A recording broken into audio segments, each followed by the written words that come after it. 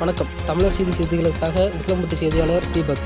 மதுரை மாவட்டம் உசிலம்பட்டியில் corona virus பரவுவதை தடுக்கும் விதமாக மக்கள் கூட்டம் கூடுவதை தடுக்க சந்தையில் உள்ள அனைத்து கடைகளும் அரசு விளையாட்டு மைதானத்தில் மாற்றப்பட்டனர்